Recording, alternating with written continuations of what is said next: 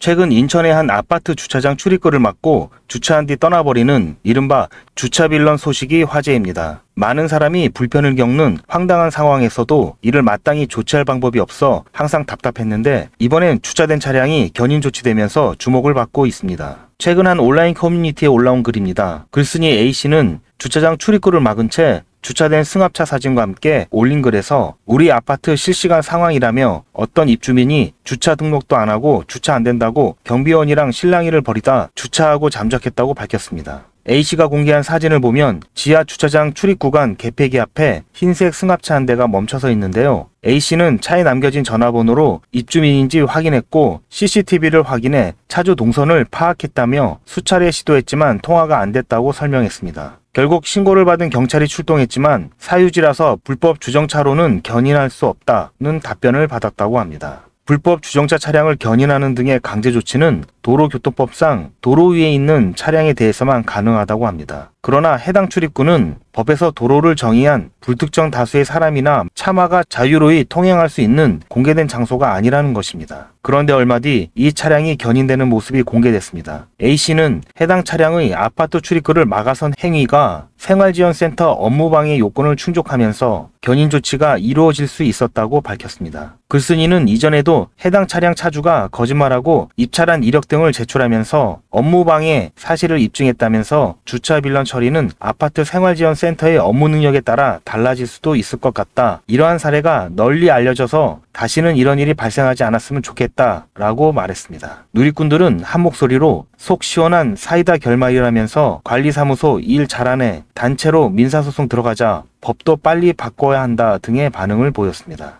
자, 그러면 지금부터는 잠시만 주목해 주시기 바랍니다. 제가 구독자분들을 위해서 깜짝 선물을 하나 준비했는데요. 제가 항상 여러분들께 뭐라고 말씀을 드렸나요? 뉴스만 평소에 잘 챙겨보셔도 돈이 된다, 돈을 벌 수 있다고 말씀을 드렸는데요. 자, 여러분들 여기 보이시는 이스라엘과 하마스 전쟁 같은 뉴스를 보게 되면 여러분들은 어떤 생각이 드시나요? 그냥 뉴스만 보고 끝내는지 아니면 이 뉴스를 어떻게 이용할 수 있는지 이 부분을 고민하고 계시는지 되물어보고 싶습니다. 자, 그 이유가 뭐냐면 제가 지난 11월 초에 여러분들께 뭐라고 말씀드렸죠? 지금은 반도체 산업에 관심을 가져야 한다. 뉴스만 보고 그냥 넘기지 마시고 투자 쪽으로 생각을 한번 해 보셔야 한다고 말씀을 드렸습니다. 그리고 나서 이런 썸네일들 뉴스를 통해서 많이 보셨을 텐데요. 이런 반도체 산업이 이슈가 됐을 때 부자들은 어떻게 생각한다고 했나요? 반도체 관련주는 뭐가 있는지, 어떤 종목이 가장 좋은지, 어디에 투자를 해야 돈이 몰리는지 자연스럽게 제가 이렇게 말씀을 드렸죠. 그 이유가 뭐냐면 부자들이 봤을 때는 이슈가 곧 돈으로 이어지고 그 이슈가 나에게 돈을 벌어준다는 경험적 확신이 있기 때문에 부자들은 항상 이런 사회적 이슈를 관심 있게 챙겨본다. 이렇게 제가 말씀을 드렸는데요. 제가 지난번에 시청자분들과 함께하는 주식으로 수익 내기 이벤트를 진행했었는데요. 당연히 100% 무료로 진행을 했었고, 자, 여기 보시면 아시겠지만, 제가 지난번에도 저한테 구독이라는 문자 남겨주신 모든 시청자분들, 이렇게 반도체 관련주 중에 가장 급등 확률이 높은 딱 한 종목, 많은 종목이 아니라 딱 제주 반도체 한 종목을 여러분들께 추천해 드렸어요. 그러면서 여기 나와 있는 대로 정확히 얼마에 매수해야 하는지 그리고 수익률이 어느 정도 나왔을 때 팔아야 하는지 이런 부분들까지 여러분들에게 정확히 알려드렸는데요.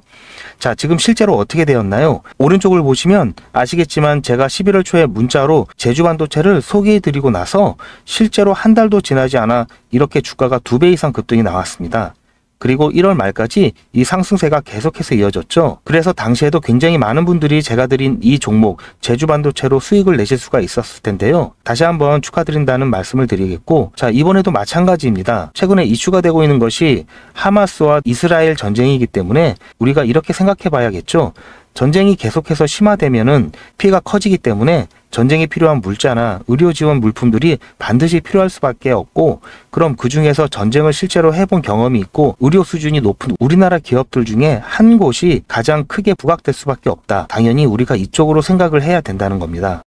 그래서 제가 이번에도 뭘 보내드린다? 물자 지원 이렇게 저에게 문자 보내주시면 제가 물자 지원 관련주 중에 앞으로 대장주 역할을 하면서 주가가 가장 크게 급등할 한 종목을 구독자 여러분들에게 문자로 종목명과 사고 파는 시점을 모두 알려드릴 거예요. 그래서 여러분들이 주식으로 돈 버는 연습을 한번 해보시라 이렇게 말씀을 드립니다. 지금 이 영상을 보시는 시청자분들 중에 나도 이번 종목이 좀 궁금하다 하시는 분들은 누구나 상관없이 그리고 어느 시간대나 상관없이 부담 갖지 마시고 이렇게 상단에 제 번호를 항상 남겨놓고 있습니다.